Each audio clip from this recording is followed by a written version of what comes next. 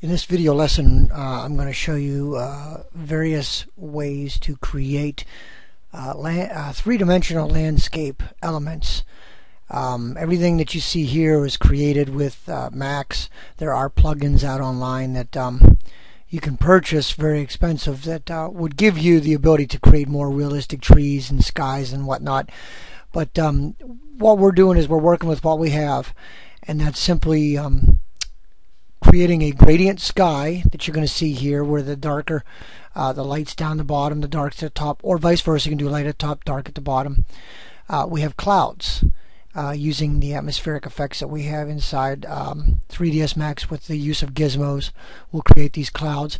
Uh, AEC, AEC extended uh, parameters um, objects that we have um, like trees and bushes that are already um, pre-made in max uh, using simple geometrical shapes to create uh, 3D rocks and then using uh, certain commands to make them, uh, to channel them into directions and whatnot. Using the uh, architectural design uh, and architectural water, as well as creating these digital landscape um, backdrops with edit mesh and whatnot. And then we're going to use procedural terrain uh, our procedural mapping where uh, we'll create one image for the entire scene as opposed to putting multiple images in here and having overlap and um, very uh, I guess you could say unprofessional tiling of materials. So uh, with that, um, let's go ahead and get begin. Um, this is uh, well about an hour or so. Uh, this video, so you'll want to make sure that you have plenty of um, caffeine for this one.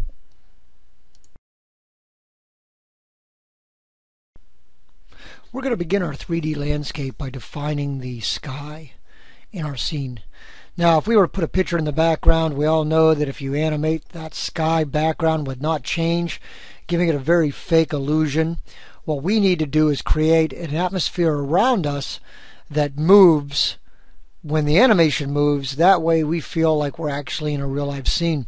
So what we do is we're going to create a dome to kind of confine our sky. I'm going to do that by starting off with a sphere. Now, if we were to put a camera inside this sphere right now uh, and do a render, it'd be black because uh, there's no material mapped on the inside because we're in a solid object.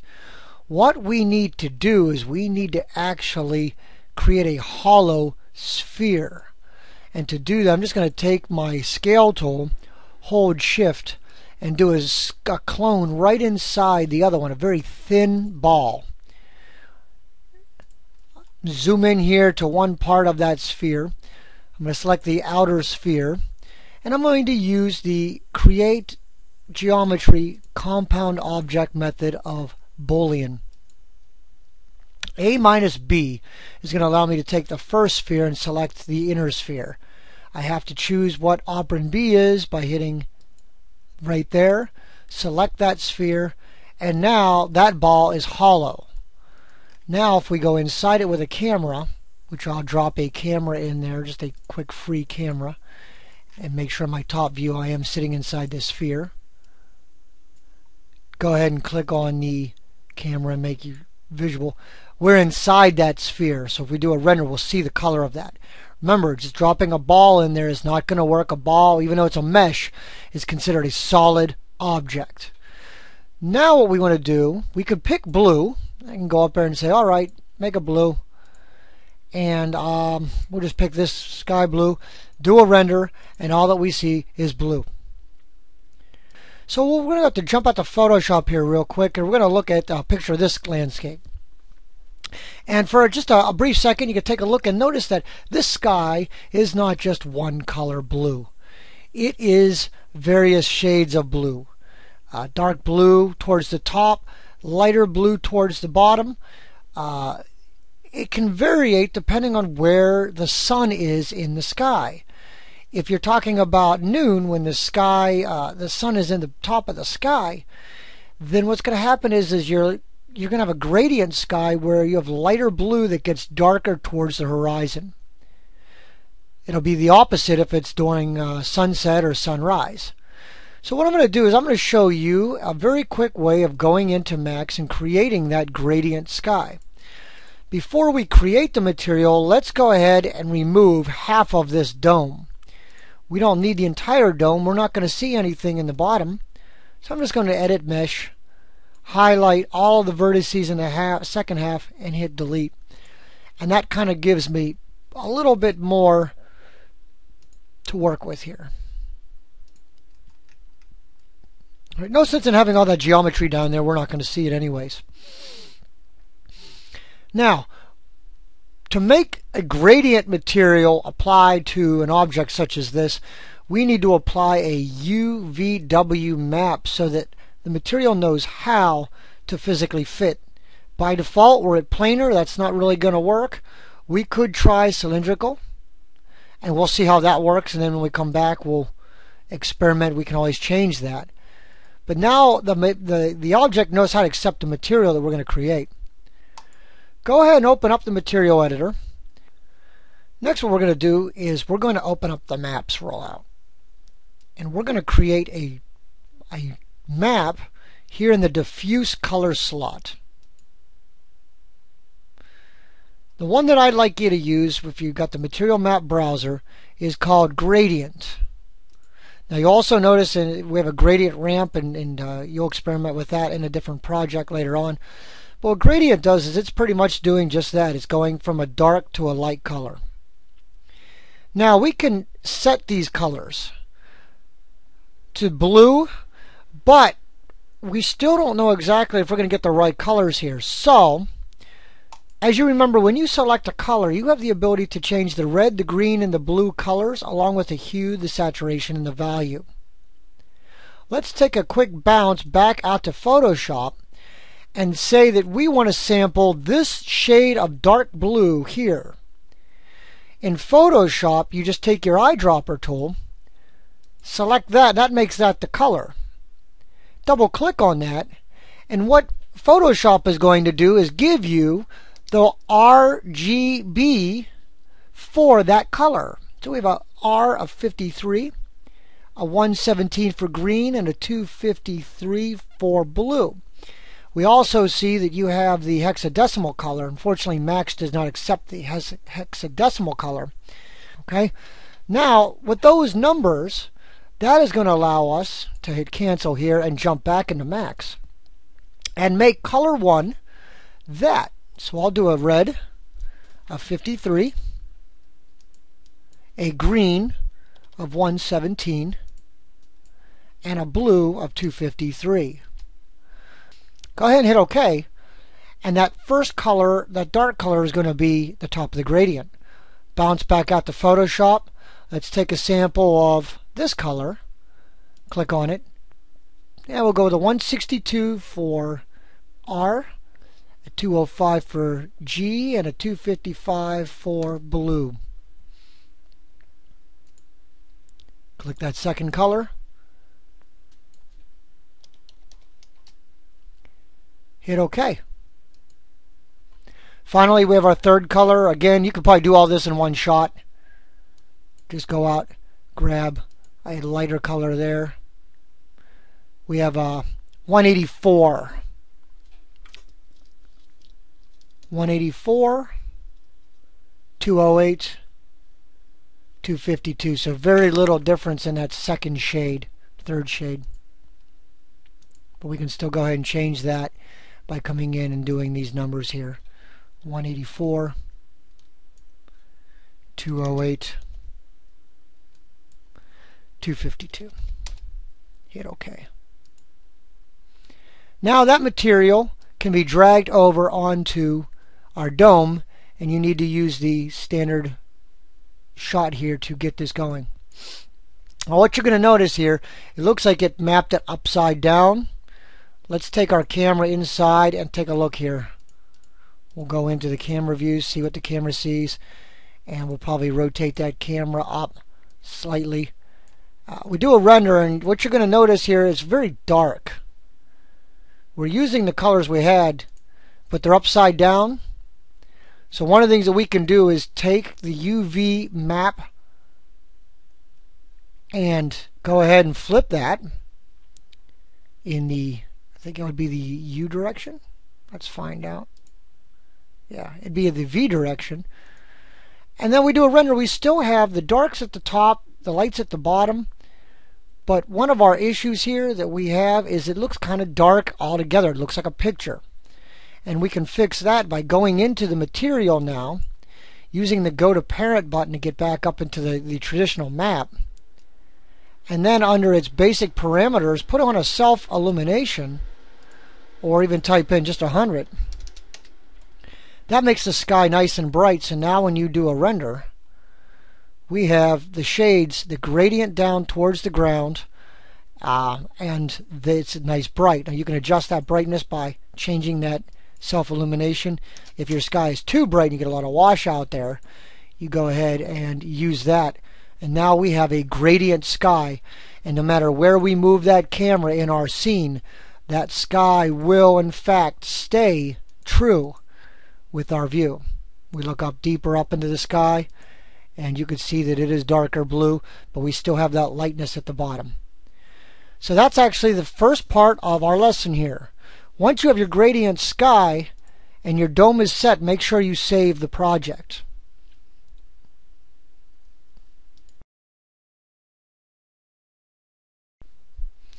Now we'd like to move on and go ahead and do some landscape. And um, what you could do if you want to lock your dome in place or um, yeah for now let's just leave it go in a little bit here what we're going to do is probably hide it so that we can concentrate on the landscape but let's grab the camera move that camera out just slightly and bend it down so it's looking down towards the ground and you can see that the gray represents the area that um, is empty right now create a uh, plane go to create geometry standard and use a plane. Drag that plane so that it's larger than your dome. You also want to take it and move it up to the bottom of the dome. Think of it as like a cap at the bottom. It can actually go over a little bit over top if you like. Under modify, take that segment and uh, maybe put in like say 50-50. These numbers will vary on your preference. The more segments we have, the smoother our landscape will be. But now what we want to do is create the illusion that uh, if we did a render right now, you, you just see a straight line. And um, there are very few places in the world where you could just stand and look at the edge of the earth, if you know what I mean. So we want to create some kind of bumpy um, landscape on very edge of our area that will allow us to, to believe that um, you know we can't see the end of the sky that, that it just doesn't drop off the end of the earth. We could do that by going in uh, and applying to the plane an edit mesh modifier. When I do that edit mesh modifier, I can go in and grab various vertices and raise those vertices up to create the illusion that there's uh, bumpy terrain. Now, it would take a lot of time to sit here and kind of go in and grab vertices and move them around.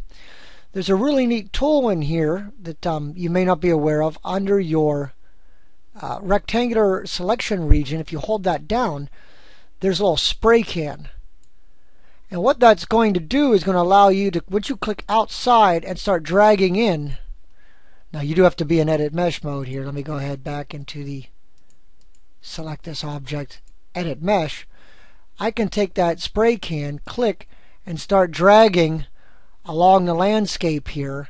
And what it's doing is only selecting the vertices that are within the dome and uh, maybe, you know, kind of do a little bit of protrusions outward, giving it the, uh, the illusion that there are, um, there's a, there's a perimeter.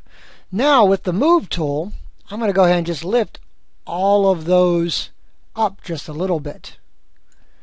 Now I'm going to go back in, do the same thing again. I'm going to go in, drag an area here, just kind of randomize it. Take the move tool, come up a little bit more.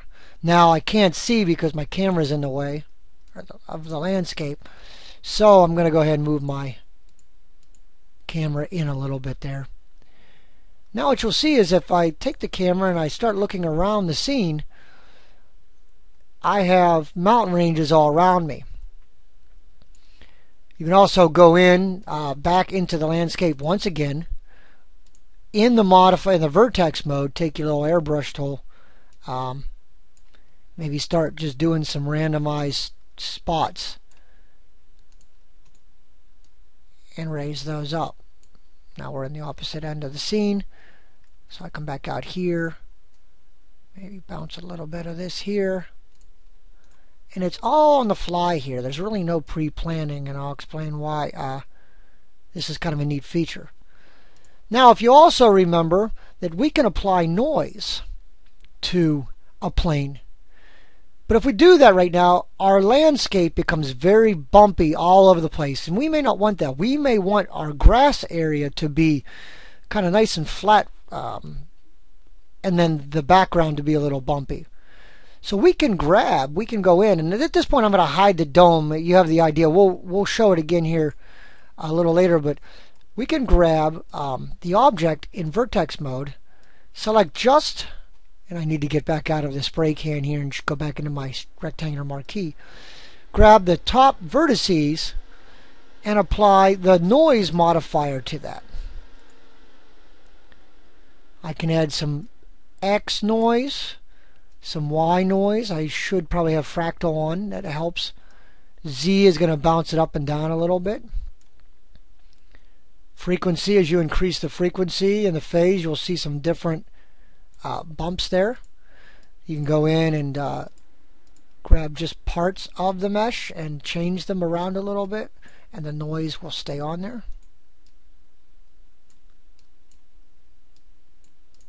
And this is how you'll create kind of the illusion that we're in the middle of a large landscape as opposed to just a, a basic 3D scene. So as I rotate my camera, look around, I have rocks and mountains all around me. Now, a second way to do this, um, in fact, here let's let's let's take a look back here. Notice how the the, the landscape's kind of rocky and bumpy. Uh, you may like that. You may like that bumpiness there. You can also go in and apply to the entire section there uh, turbo smooth.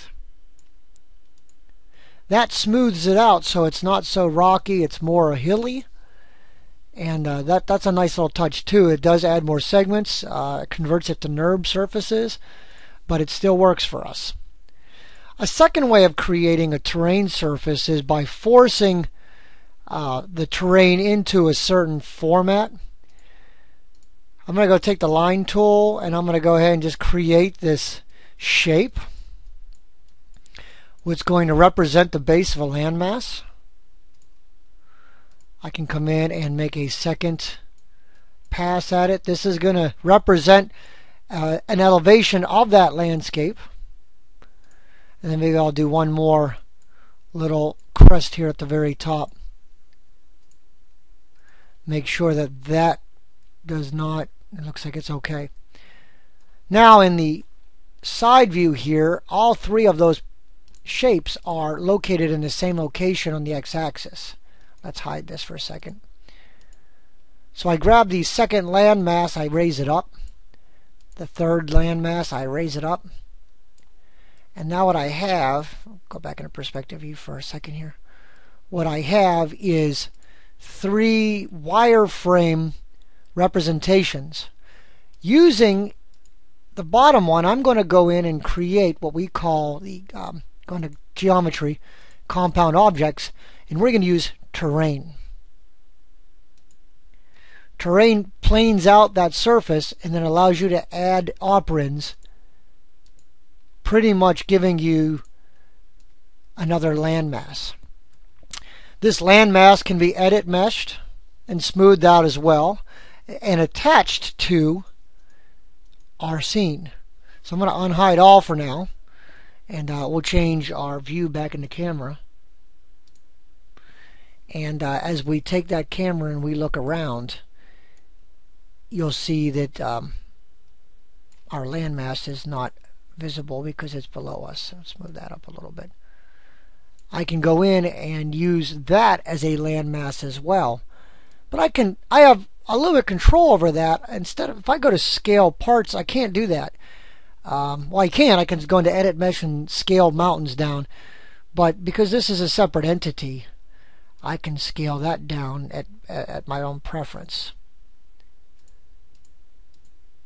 Now one last thing while we're in the uh, editing mode here and using uh, building our terrains, you may decide that you want to add some water. And uh, a river bank is very similar to that of the opposite of a mountain. I'm going to go ahead and select my terrain, go back into its edit mesh mode, vertices, take my little spray can here, which is under the, the rectangular marquee, and I'm going to click and I'm going to drag right down and just create myself a little stream. In fact, I'm going to make it a little wider. I'm going to go around here, and with my left mouse still selected, that kind of gives it a, a, a wideness there. I'm going to go and take that and drop that down below the surface just a little bit. Take the select again, go back through, add another pass. All that's going to do is allow me to go in and lower and create that illusion that that um, that lands that landscape drops down inside. Because if I drop water in there, I can make the water surface level, and we'll do that and uh, at the end of this lesson. So there we have it. We have uh, a landscape that's kind of it, it, doesn't no matter where we look, we don't get the illusion like we're sitting on a plane uh, surface. Now what we're going to do is we're going to go in and I'm going to teach you how to create what we call procedural map. And uh, if you go in right now and you drop grass on here, the grass is going to cover the mountains, this, and then underwater. And it's just going to repeat that same picture of grass, leaving those ugly um, lines in there, the, those lines, that tiling lines, and it, it looks so very unprofessional. We're going to use that surface, though, to create a nice procedural terrain, pretty much one image that's going to cover this entire landscape. So instead of having multiple maps, we'll have one map. And we're going to do that uh, by going in and doing a quick rendering and using that rendering to show us what where to actually paint our materials.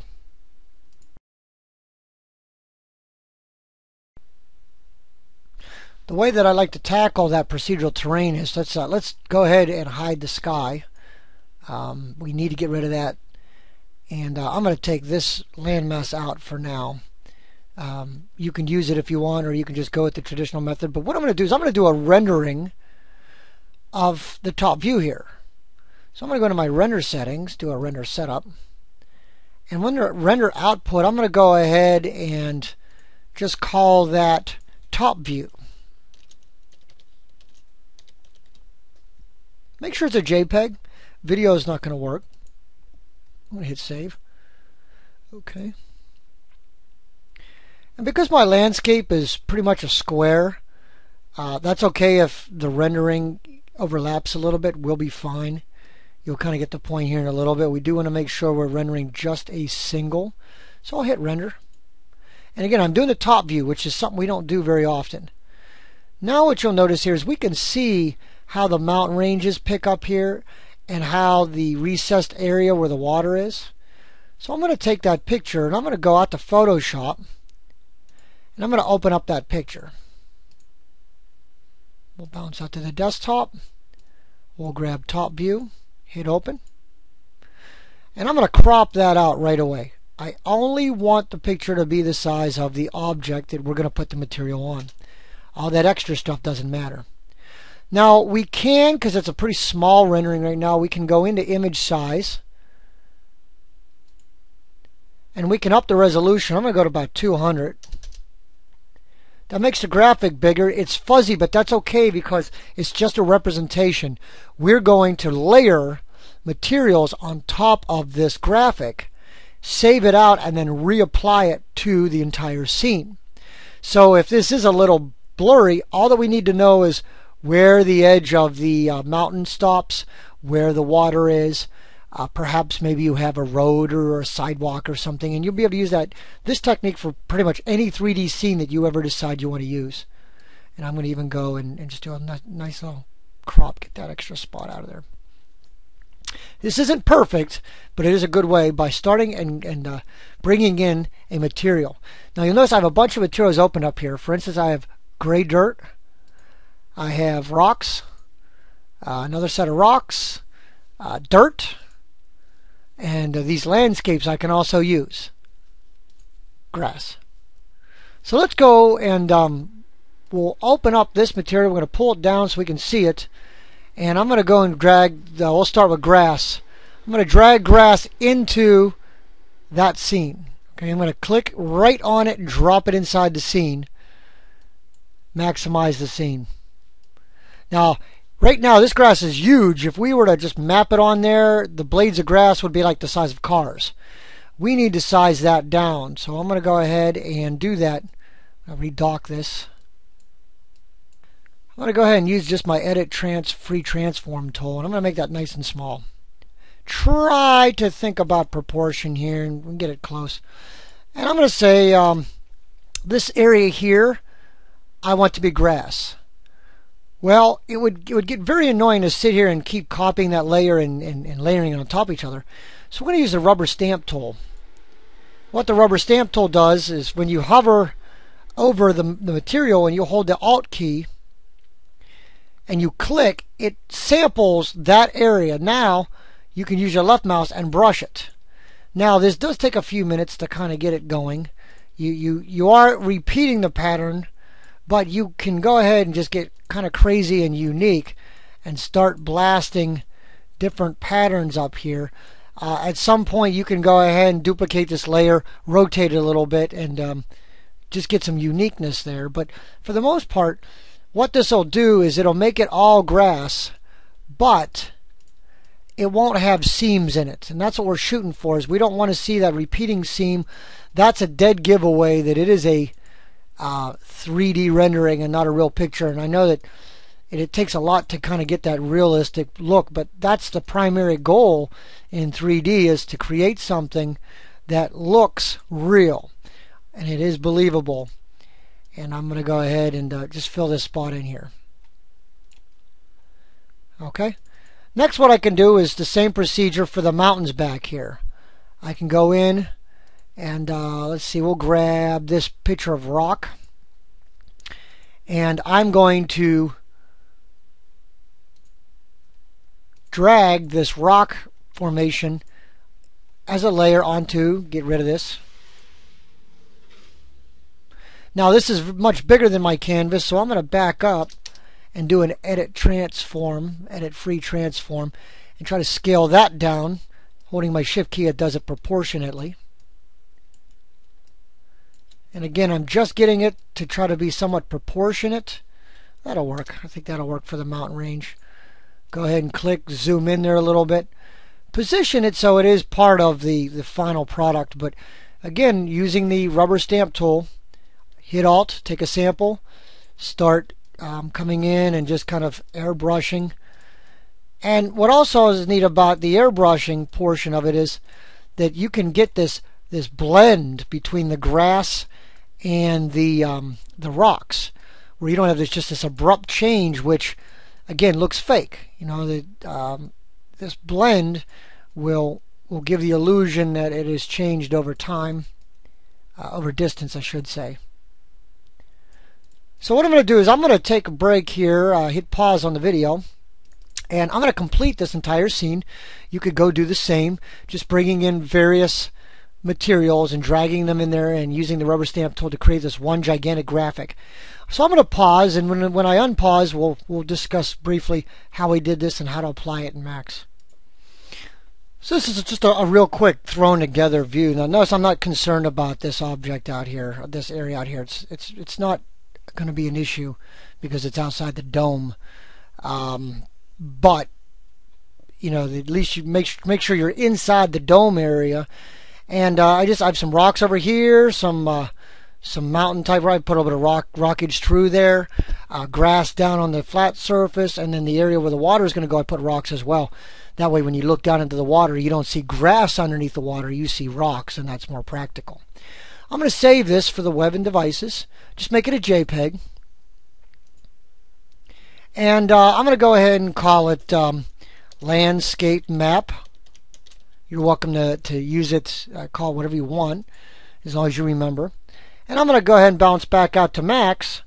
And now what I'm going to do is select the material editor and bring that material in. So we have a gradient sky. Now we're going to bring in our map, diffuse, bitmap, choose my landscape map. And you could also go back into Photoshop, do a black and white of that, creating a bump texture, and then coming back down and playing the bump texture, which would match the the bitmap. So that's that. You know that that also is um, something I'd I'd hope that you could figure out. Um, but now let's go ahead and drag our map onto our landscape, make it visible. And now I'm going to go ahead and change back into perspective just so I can kind of fly out here and take a look at it. You will see that our map kind of matches the contour of the land. It does stretch it a little bit uh, because the, the material is done in a 2D, but for the most part, you can't really see any re major repeating patterns here.